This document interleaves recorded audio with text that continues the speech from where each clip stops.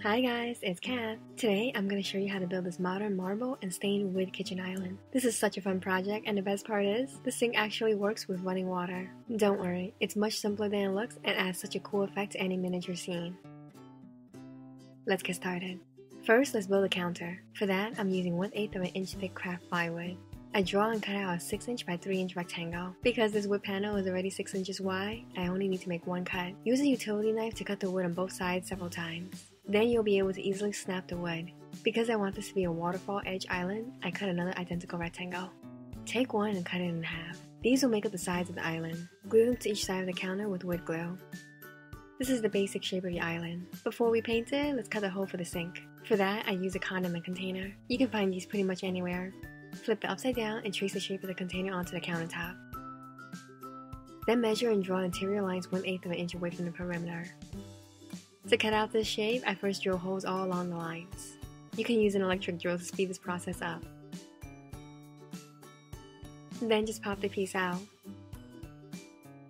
To clean up the rough edges, I just use these two metal files, the flat one for the sides, and then the round one for the corners. There, that's perfect. Let's get to painting. The first step is to cover the entire piece in gesso. This helps smooth out the wood, hides discoloration, and provides better adhesion for paint. Once that's dry, I go over it with a of white acrylic paint. For the marbling effect, I'll be using these acrylic paints. To apply the color, rip pieces off a sponge in various sizes.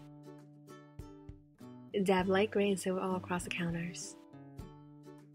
Then for the veining, take a piece of sponge that has a really nice sharp edge. Lightly dab dark gray paint in one direction to create various lines. Use a light hand here.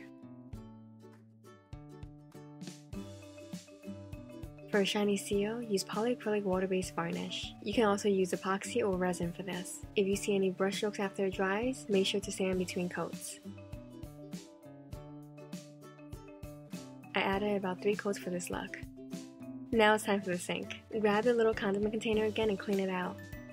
Drill a hole into the center for a drain and then paint it. I use metallic silver spray paint on both sides. With some E6000 glue, position the sink right under the counter. This is optional, but I take a tiny silver eyelet for the drain hole. It just creates a cleaner look. The counter is done, so let's move on to the cabinets next.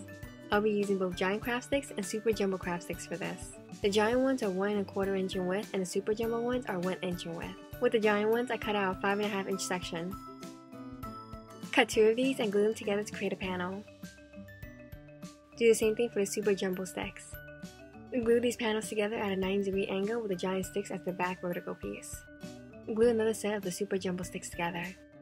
Then cut out two 3 inch sections. For reference, each rectangle is 2 inches by 3 inches. Glue them to each side of the cabinet. To finish the back, take another piece and line it up. Cut off any excess wood. Perfect fit! Cut out two more 2 inch by 3 inch rectangles made from super jumbo sticks. Glue them together for thickness. Then simply position it vertically right in the middle of the cabinet. Next up is the drawer fronts. I take another super jumbo craft stick and cut out a 2 and 3 4 inch section. Make 6 of these. For the drawer bottoms, make another super jumbo craft stick panel. Cut out a 2 and 5 8 of an inch section. Check to make sure it fits into the bottom of the cabinet, then slide it in and glue a drawer front onto it. Pull it out and you're ready to finish the drawer. For that, we'll need some regular jumbo popsicle sticks. These are a bit thinner at 3 fourths of an inch in width. Cut out two 2 inch sections and one 2.5 inch section. Glue the shorter pieces on the sides and a long one at the back. Super easy. Place the drawer back in a cabinet. Before we can make the next drawer, first draw lines above the sides of the bottom cabinet. Then take some coffee stirrers and cut out two lengths just under 2 inches long. These will act as the rails for the next drawer. Glue them right above the lines we drew. Place another drawer bottom on the rails and repeat this process until all three drawers are finished.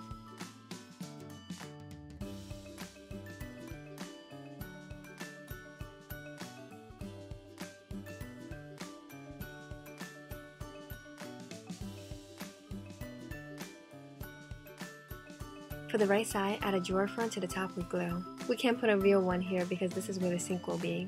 The last two drawer fronts will create one tall drawer. Glue these pieces together into a panel. Then add rails at the bottom of the cabinet. Add a drawer bottom to the rails and glue on the big drawer fronts. From another giant craft stick, cut out two 2 inch lengths. Glue them to the sides. Cut out two 3 4 inch sections and two 1 quarter inch sections. Add the short pieces to each side of the back and the longer pieces in front of them. Cut one last 1 inch section and close off the area. Fit it into place. Our cabinet bill is all done. Now it's time for some color. To make a nice dark stain, I mix dark brown acrylic paint with some water. Brush it onto all the drawer fronts. Add the color in layers until you achieve the color you like. Once these are stained, turn the cabinet around and stain the entire back. For a glossy look, I add on a coat of polycrylic varnish.